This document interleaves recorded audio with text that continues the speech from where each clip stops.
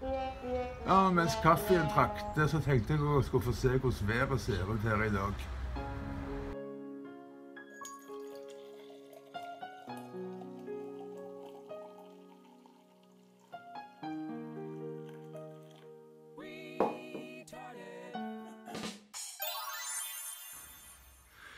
Ja, riktig god morgen.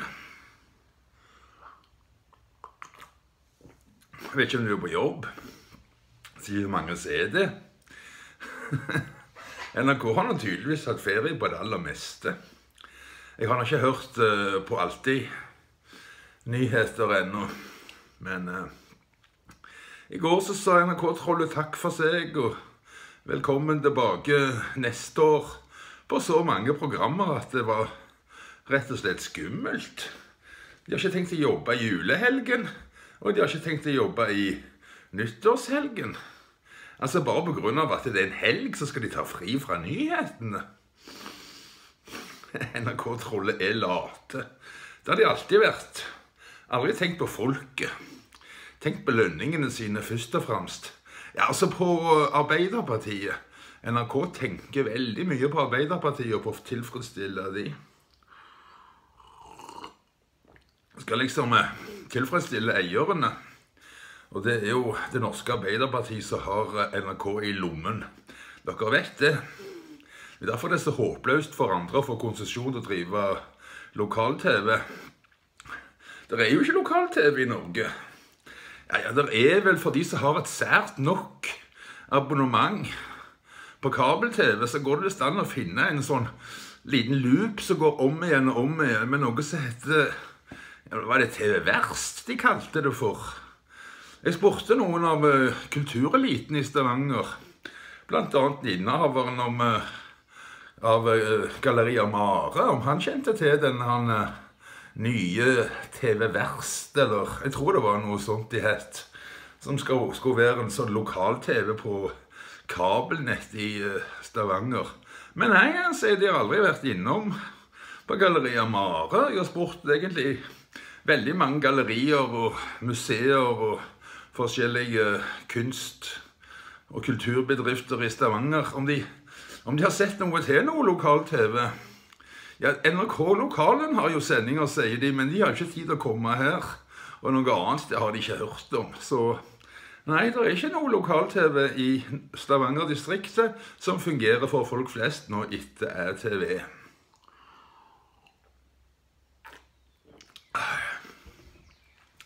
Det var jo en stund hvor uh, de lastet opp til YouTube hadde litt hensikt.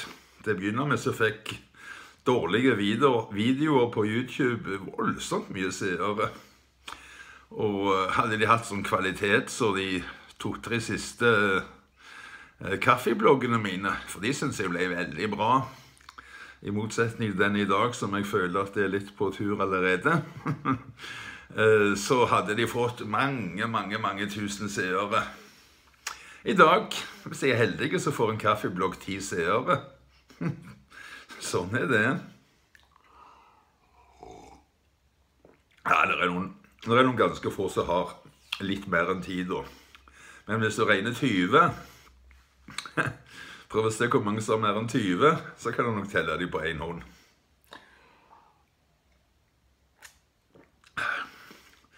For det er ikke ytringsfrihet i Norge. Altså Det å laste opp en video til YouTube og så få 20 seere på den, har ingenting med ytringsfrihet å gjøre. Ytringsfrihet, hvis det skal være det, så er det liksom en forutsetning at du har muligheten til å nå ut til noen ting. Det heter kringkastning, det. Og det er altså forbudt i Norge. Det er Åse Kleveland, den jævelen som har uh, sørget for å stoppe norsk kultur-TV. Gustav han er forbanna på det, han. Det er hedenskap. Og hadde lærende folk i Stavanger-distriktet vært forbanna på det den gangen Jeg vet at vi, vi hadde en underskriftskampanje. Og den var nå egentlig ikke så helt mislykka da. Vi fikk inn over 20 000 underskrifter sånn til støtte for at Åse Kleveland måtte omgående gi oss konsesjonen tilbake.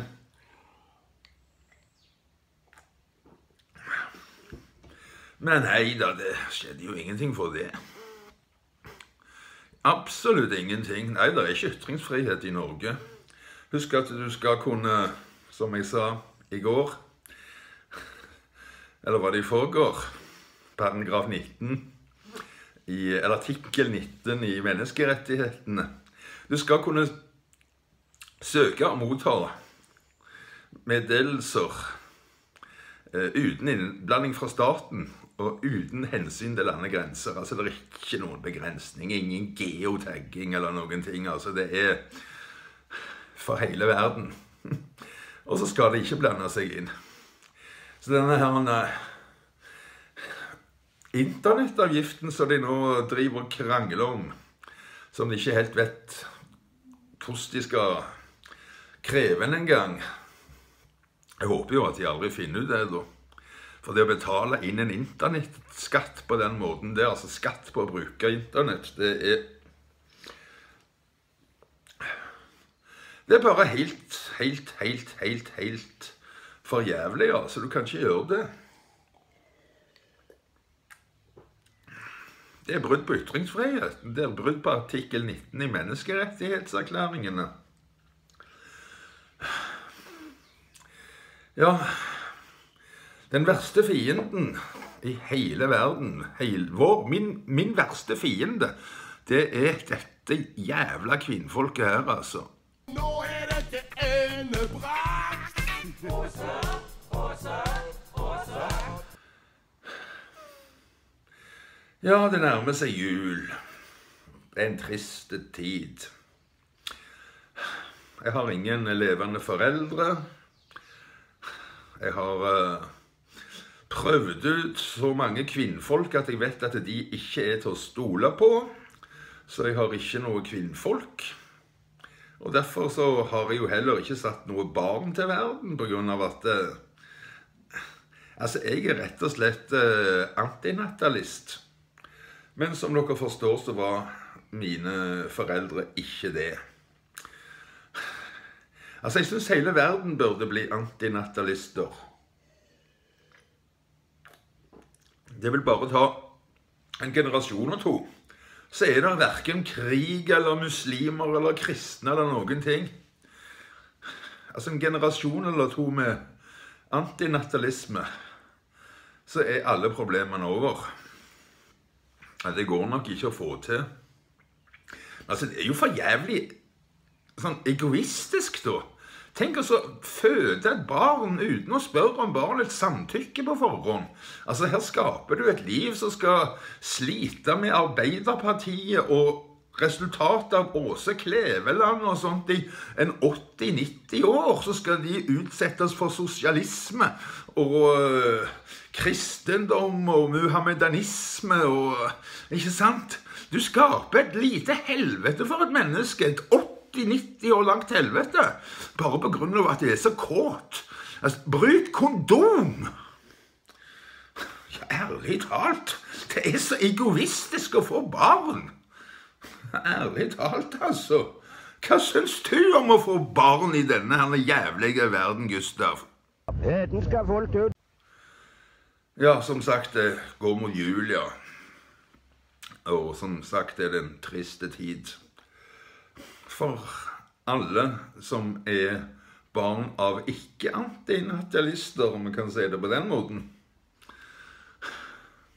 At det blir å sitte her. Tenk på at i Norge der er det noen som har det kjekt. Der spiser de pinnekjøtt. Noen spiser ribbe. Noen har det kjekt, rett og slett. Tror du du får fatt i pinnekjøtt her? Tror du det er noen fra familien her? Nei. Det er ikke det. Hvorfor kan vi ikke dra til Norge? Trine Skei Grande er vel egentlig det korte svaret. Hun satte opp flyplass Billettprisene, mener jeg. Hun økte billettprisene med fly så mye at vi ikke kan fly lenger. Har ikke råd. Så det er det vi har fått av politikere. Jeg nevnte forslaget om en allianse mellom Piratpartiet og Pensjonistpartiet den er selvfølgelig ikke realistisk at de sånn offisielt skal gå ut og inngå en valgallianse, men uh, begge to stiller, valg, stiller lister til valget. Så hvis uh, folk bare stemmer på de to listene, på Pensjonistpartiet og Piratpartiet, så vil de jo få flertall. Og da vil de måtte danne regjering. Og da blir kanskje Arnt statsminister. Så kanskje vi får en annen kringkastingspolitikk i Norge, da. En som er litt mer i tråd med artikkel 19 i menneskerettighetserklæringene. En som ikke bryter med paragraf 100 og 101 i Grunnloven. Du vet hva 101 sier? Det skal ikke være noen konsesjonsregulering. Hva det heter sånn Ytterligere innskrenkninger i næringsfriheten bør ikke finne, fra, finne sted for framtiden. Sånn fritt etter hukommelsen, da. Altså har hele den lovboken i hodet. Jo, jeg har det, da, men jeg var ikke forberedt på å sitere paragraf 101. Men det var sånn. Det er det han heter. Det skal ikke være lov å bruke konsesjonsregulering av næringsvirksomhet. Og radio og TV er faktisk næringsvirksomhet. Ikke bare kultur, det er mest kultur. Ja, ikke sånn som TV 2 driver det. Hotell Cæsar og Syv søstre og fotball og øh. Jeg syns det er litt sånn kos det at TV 2 har mista fotballrettighetene. For de er jo ikke kvalifisert en plass til å være TV-stasjon TV 2. Og nå skal de få statsstøtte. De skal få rett og slett en del av TV-lisensen TV din til TV 2 som sender reklame. Altså, RTV som sendte kultur, fikk aldri fem øre i støtte. Aldri fem øre i støtte. Jeg vet at jeg gjentar meg vel mye her nå, at vi snakker om det samme hele veien. altså, Men jeg er virkelig opprørt av dette her nå, som skjer. At det sånn drittstasjon som TV 2 skal få statsstøtte, og vi som sendte kultur, mister konsesjon. Jeg syns det er så helt for Det er helt for jævlig. Altså, det ødela hele livet mitt. Skål, for nå Altså Nå har vi jo kommet i en sånn situasjon at nå må jo noe, noe gjøres, da. Hvis vi ikke får konsesjonen vår ganske fort nå, så er det jo ikke noe annet å gjøre enn å begynne med piratvirksomhet igjen. Et godt sted ligger høyt og har utsikt til mange potensielle seere. Hvis eh vi står overfor et mobilt, eh, en mobil sender. Da har vi jo et lite problem, da. Og, da kan det bli aktuelt, vil jeg tippe på, i ekstreme tilfeller, å tilkalle forsterkninger. Det var jo sånn de jobba under krigen òg, for å finne disse her eh, sabotørene. Like så viktig som uh, plasseringen høyde er det vel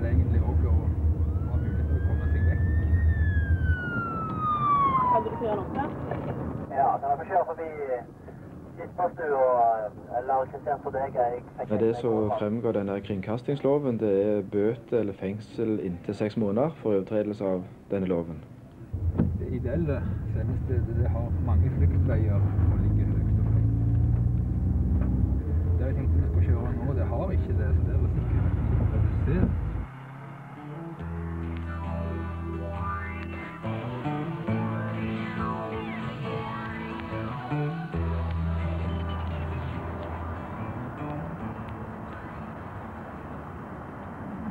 Altså, jeg går jo i fengsel for mine meninger om nødvendig, da. Jeg gjør det. Jeg eh, er villig til å benytte meg av piratsendinger, som jeg gjorde for 18 år siden. Politiet i Stavanger pågrep i går kveld fire mennesker mistenkt for å drive med ulovlige radiosendinger. Sendingene, som pågikk i hele går, forstyrret bl.a. instrumentene på Sola lufthavn. Det er Grunnlovens paragraf 100 som helt tydelig slår fast at det skal være ytringsfrihet i Norge. Og det er ikke mulig for meg å få ytre meg noen plass. Riktignok får jeg lov å si dette inn i dette kameraet her. Men det er òg første gang jeg får lov å snakke til et kamera på over to år, faktisk. det. Det er jo selvfølgelig umulig for hver mann å ha sin egen TV-kanal, for at du skal jo fylle den sendetiden med programmer da. Og derfor oppretter vi ETV. Alle som kom til ETV med programmer, de fikk disse programmene sendt. Omtrent etter modell fra amerikansk Access-TV. God ettermiddag. Her er lørdagens nyheter. 100 beltevogner.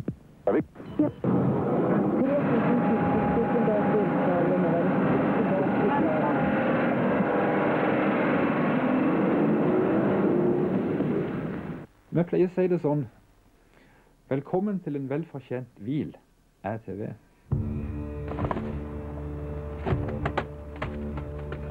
Da er det veldig greit for folk som gjerne bare lager et program i uken, eller kanskje de har laget et program i året, å kunne gå en plass og få sendt det programmet uten selv å måtte søke konsesjon. Evangeliesenteret tror jeg i TV veldig mye. De har eh, gitt skriftlig uttalelse for at vi faktisk har redda en del liv gjennom våre sendinger. Det er jo deres programmer vi har sendt, da, men eh, uten ETV så hadde de aldri blitt sendt. Og folk som da har eh, tenkt å begå selvmord, har da ved to anledninger, sier de, ombestemt seg etter å ha sett programmene på ETV.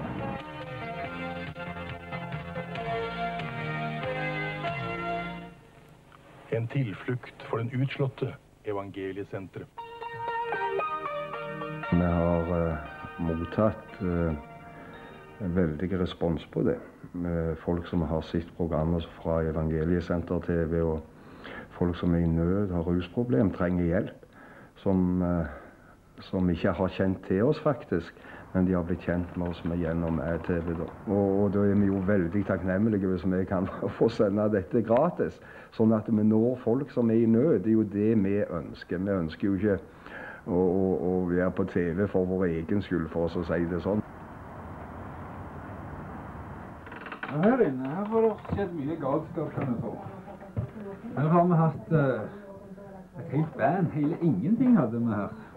Med ja, hele bandet med instrumenter, og vi gjorde en trekameraproduksjon, så det var tre kameramann i dette lille lokalet her.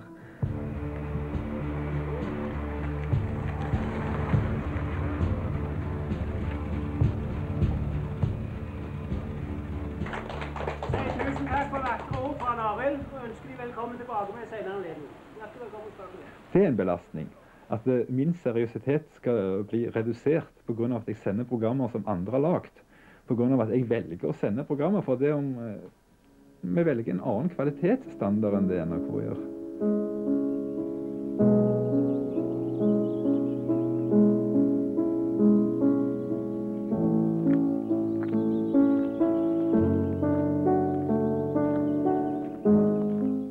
Kan lage gode ting hvis vi først vil, men det vil helst stort sett at vi ikke vil lage sånne dynamiske tresekundersklipp. Vi vil ha litt lange klipp. Vi vil at folk skal få lov å snakke ut. Vi vil ikke klippe sånt sannheten. Vi vil at folk skal få snakke til punktum og få utdype sannheten. Og da blir det gjerne litt langt, men det er bedre det enn at du sitter med 30 sekunder med løgn.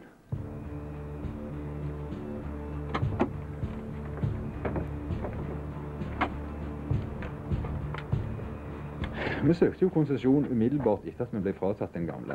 Og vi har purra noen ganger. Sist gang for over ett år siden.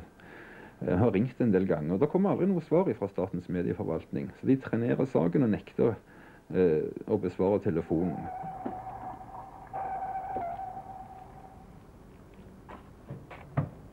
Det som jo skjedde, var at eh, Åse Kleveland fikk en sånn fiks idé. Sa at nå skal det kun være én lokal-TV i hver region. Og eh, da søkte TV Vest, som hadde gått konkurs tidligere, eh, i motsetning til TV som hadde en relativt sunn økonomi. Det er da selve senderen, som eh, nå tilkobler et eh, vanlig og billig superværskamera. Det er for at eh, den totale verdien skal være veldig begrensa hvis noe udemokratisk skulle skje.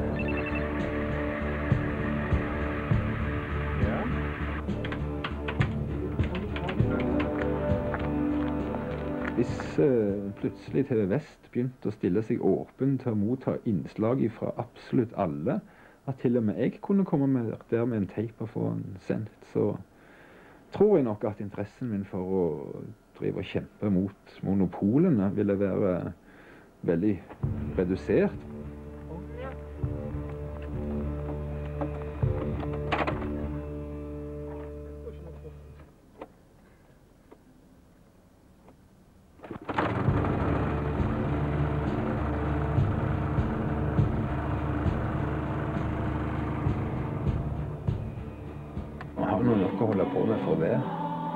Så mye gammel teip å gå gjennom og sortere og katalogisere at det er helt utrolig. Pluss det produserer jo en del innslag fremdeles. Først og fremst for amerikansk TV. Det meste vi produserer nå, blir bare vist i Statene. En av de som har fått eksportert litt, og er jo Flammehunden Kid. Den er da Dette er fra Aftenbladet, og det er VG og Rogalands Avis. Suksess i USA. Millioner har sett Flammehunden Kid.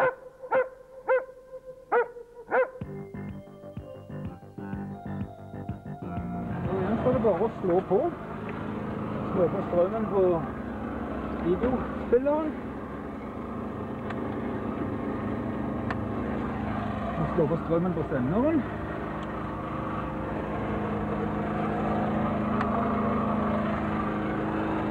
Så kan vi starte et program som har noe å stille inn etter.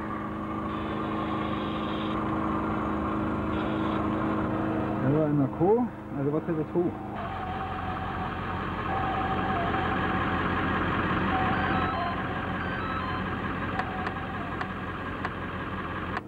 Var TV Norge. Og der er TV.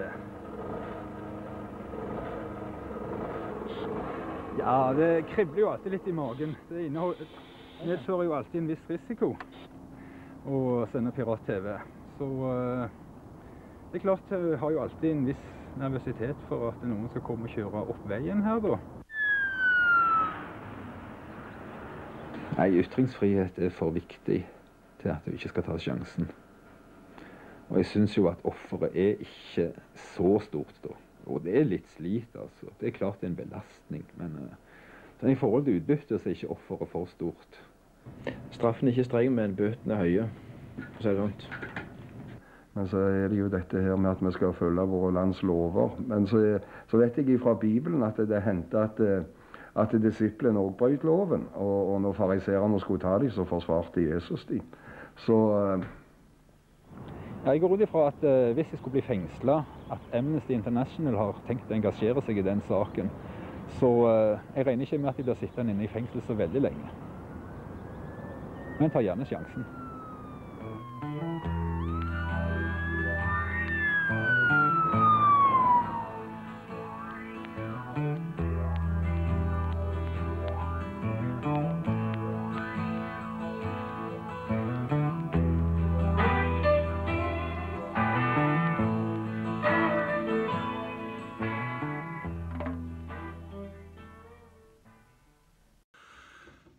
Jeg er så glad i den dokumentaren som studentene lagde for oss der.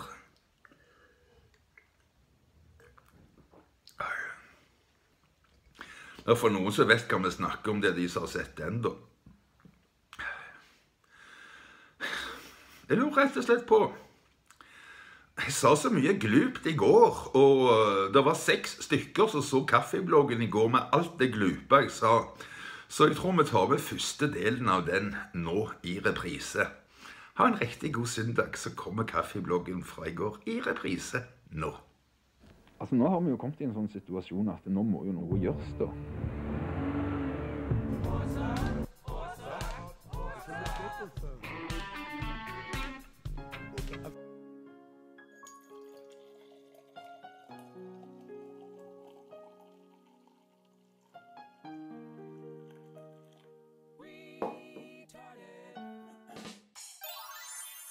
Som jo skjedde, var at eh, Åse Kleveland fikk en sånn fiks idé. Nå begynner det, nå begynner det å stige her oppe. Det begynner å stige. Sa at nå skal det kun være én lokal-TV i hver region. Det er hedenskap. Sa at nå skal det kun være én lokal-TV i Og hver det er region. hedenskap. Hedenskap fullt ut. God morgen.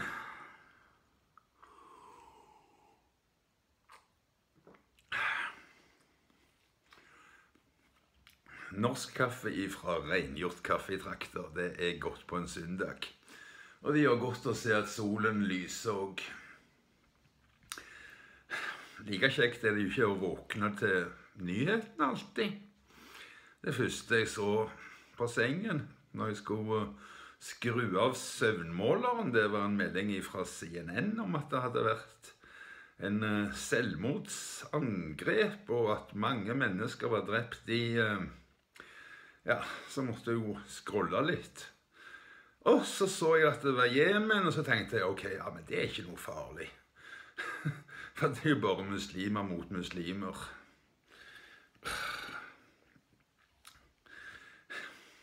Det er løye hvordan det har blitt. altså. Det bryr deg rett og slett ikke. Ikke du heller. Altså, Vi har blitt immune mot den slags. Og jeg må jo bare si at det er muslimene sjøl som har gjort det. Altså, De har jo klart å gjøre flyktning til et firebokstavsord. Før i tiden så var en flyktning var jo nærmest en slags helt. En som hadde klart å lure seg unna et undertrykkende regime. Vi likte flyktninger. Vi ville ha mest mulig av dem. Vi Gikk rundt og sang 'Give peace a chance' og Husker dere uh, Pete uh, Johansen? Han er fra Modesty Blaze, han med fela. Han skrev noe på Facebook i går. Jeg tenkte jeg skulle lese for dere. Tidlig på morgenen, altså jeg håper jeg klarer å lese det sånn noenlunde bra. Pete Johansen, altså. Det er trist når de eneste samtaler om krig dreier seg om hvilken side man skal stå på, om hvem som er skurkene. I min fjerne hippieungdom sto vi på fredens side. Det var krigsherrene som var skurkene. Samme hvor de kom fra, og samme hva de sto for. Det bør være krigens avskyelige konsekvenser som opprører oss, ikke hva det kjempes for, ikke hvem det kjempes for. Eh, hva var det jeg sa?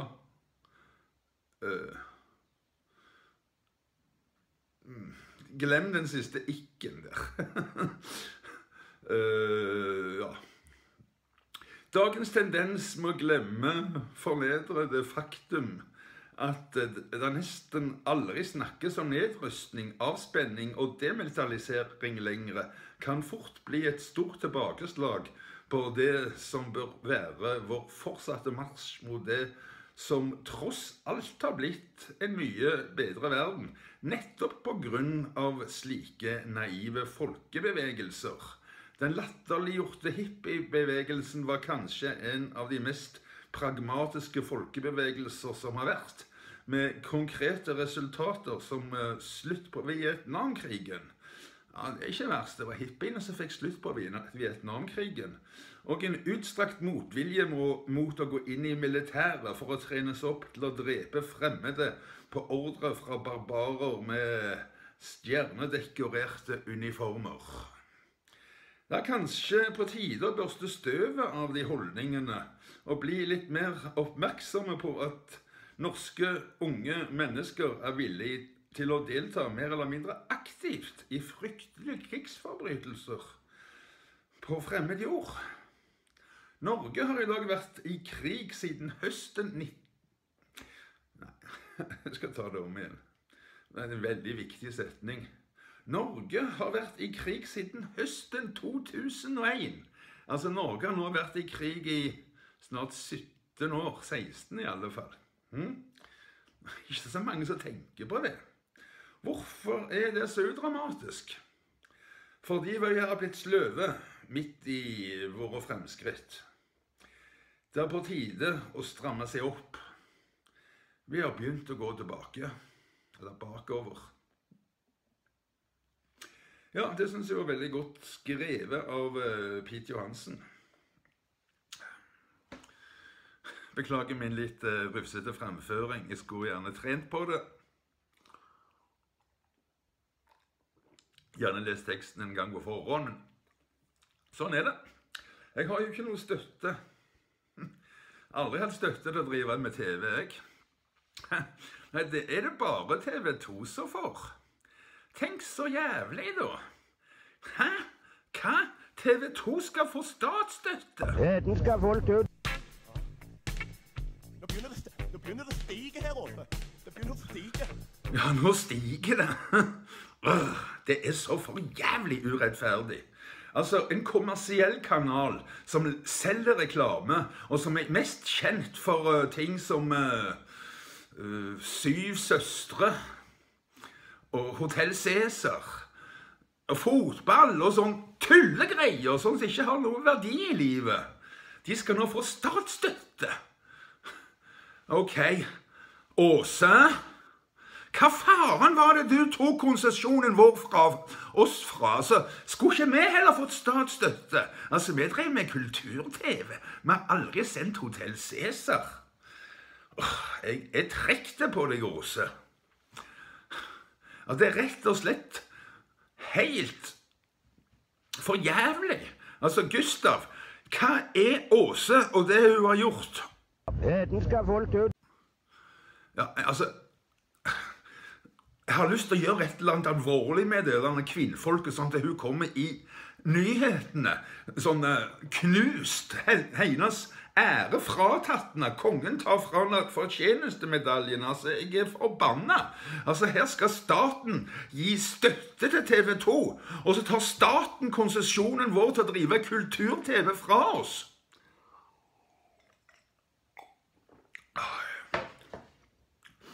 Ja, jeg hadde mye annet på programmet i dag, men nå er jeg så trekt av Åse at eh, jeg tror vi skal vise denne dokumentaren om eh, den eh, triste situasjonen til lokal-TV i Norge. Og så syns jeg jeg sa mye godt i gårsdagens kaffeblogg, så etter denne filmen nå, 'Luften er for alle', så kommer gårsdagens kaffeblogg om igjen. For der sa jeg veldig, veldig mye godt om denne sinnssyke støtten som TV 2 skal få nå. Og den helt urimelige avgiften som alle får for å være på internett. Altså det er en avgift for å være på internett du får. Nå kommer altså eh, Luften er for alle, og så reprise på kaffebloggen fra i går etterpå. Ha en riktig god søndag. Nå er dette endebrakt. Altså Nå har vi jo kommet i en sånn situasjon at nå må jo noe, noe gjøres, da. Hvis vi ikke får konsesjonen vår ganske fort nå, så er det jo ikke noe annet å gjøre enn å begynne med piratvirksomhet igjen. Et godt sted ligger høyt og har utsikt til mange potensielle seere. Hvis eh, vi står overfor et mobilt, eh, en mobil sender, da har vi jo et lite problem, da. Og, og da kan det bli aktuelt, vil jeg tippe på, i ekstreme tilfeller, å tilkalle forsterkninger. Det var jo sånn de jobba under krigen òg, for å finne disse her eh, sabotørene. Like så viktig som eh, plasseringen høyde er, er det vel egentlig òg å ha mulighet til å komme seg vekk. Kan du kjøre noe? Ja, kan jeg få kjøre forbi fikk Ja, det som fremgår denne kringkastingsloven, det er bøte eller fengsel inntil seks måneder for overtredelse av denne loven. Det ideelle sendestedet det har mange fluktveier og ligger høyt og høyt. Det jeg tenkte vi skulle kjøre nå, det har ikke det, så det er Ja,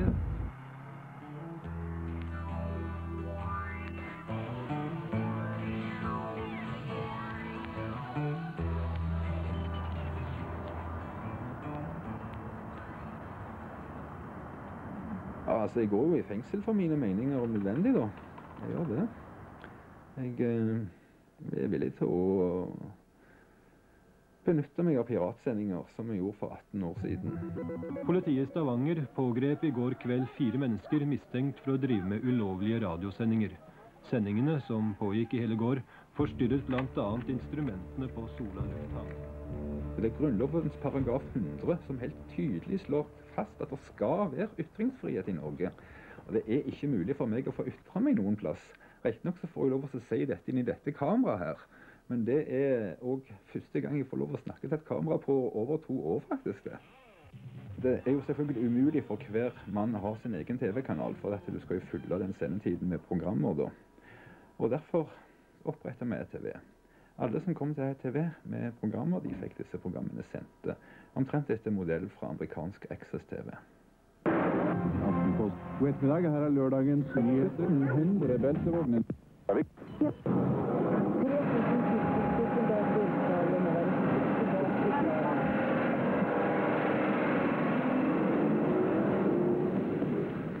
Vi pleier å si det sånn Velkommen til en velfortjent hvil, er TV.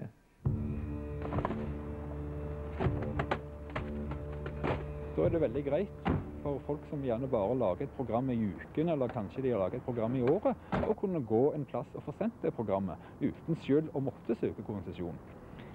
Evangeliesenteret tror jeg sevner TV veldig mye. De har eh, gitt skriftlig uttalelse for at vi faktisk har redda en del liv gjennom våre sendinger.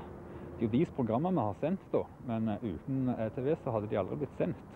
Og folk som da har eh, tenkt å begå selvmord, har da ved to anledninger, sier de, ombestemt seg etter å ha sett programmene på ETV.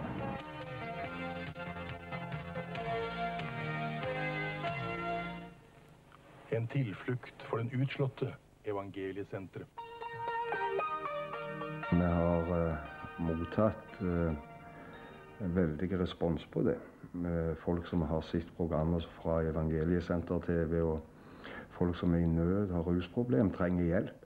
Som, eh, som ikke har kjent til oss, faktisk. Men de har blitt kjent med oss med gjennom TV. Da. Og, og da er vi jo veldig takknemlige hvis vi kan få sende dette gratis. Sånn at vi når folk som er i nød. Det er jo det vi ønsker. Vi ønsker jo ikke å, å, å være på TV for vår egen skyld, for oss å si det sånn. Her inne her har det skjedd mye galskap, kan du tro. Her har vi hatt uh, et helt band. Hele ingenting hadde vi her. Med ja, hele bandet med instrumenter, og vi gjorde en trekameraproduksjon, så det var tre kameramann i dette lille lokalet her.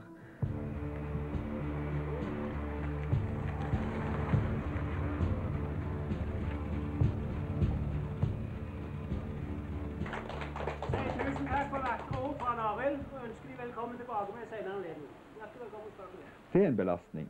At eh, min seriøsitet skal bli redusert pga. at jeg sender programmer som andre har lagd. Pga. at jeg velger å sende programmer for det om eh, vi velger en annen kvalitetsstandard enn det NRK gjør.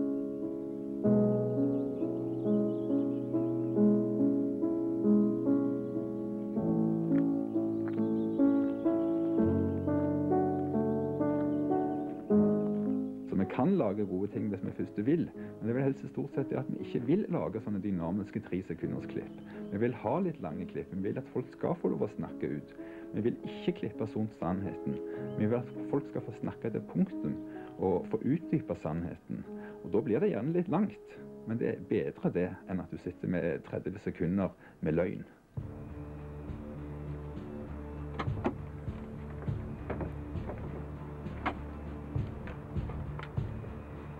Vi søkte jo konsesjon umiddelbart etter at vi ble fratatt den gamle. Og vi har purra noen ganger. Sist gang for over ett år siden. Jeg har ringt en del ganger. Det kommer aldri noe svar fra Statens medieforvaltning. Så de trenerer saken og nekter eh, å besvare telefonen.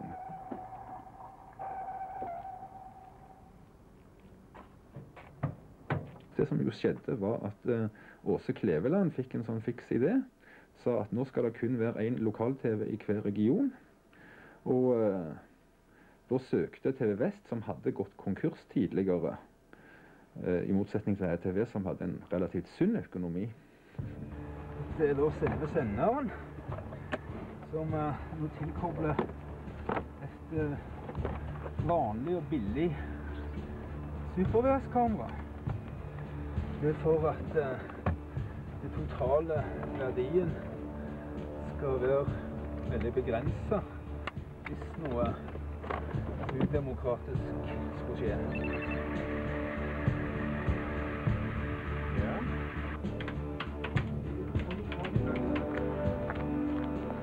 Hvis eh, plutselig TV Vest begynte å stille seg åpen til å motta innslag fra absolutt alle, at til og med jeg kunne komme der med en teip og få den sendt, så tror jeg nok at interessen min for å drive og kjempe mot monopolene ville være veldig redusert.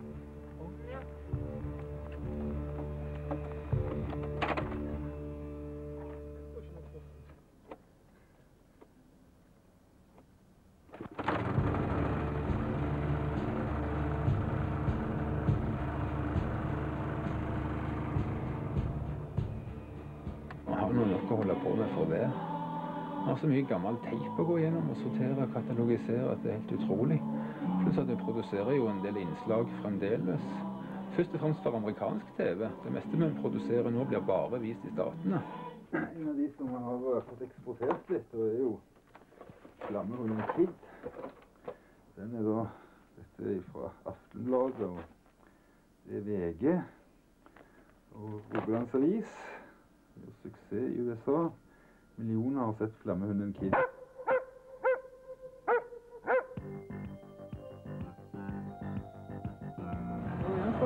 Slå på. Slå på strømmen på videospilleren. Og slå på strømmen på senderen.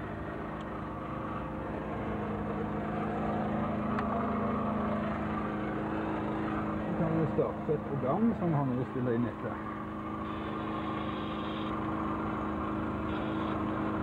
Det var NRK. Nei, det var TV 2.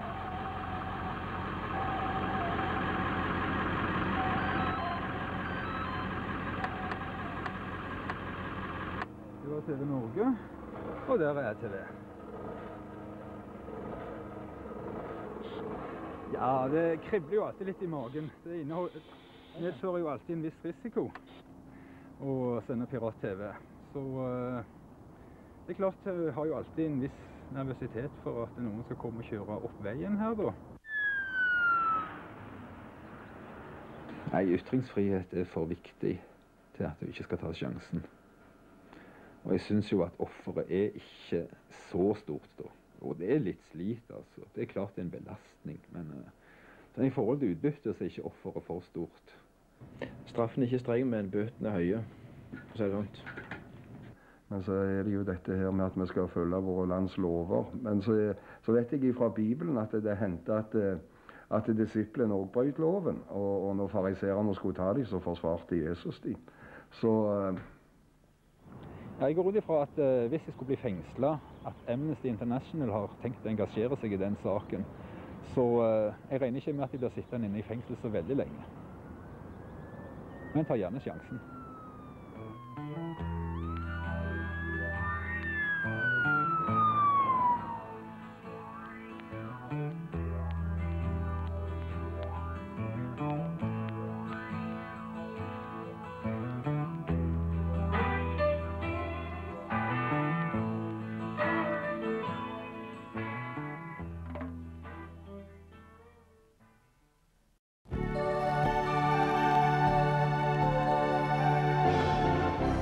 Don't have any art, you're pretty much lost.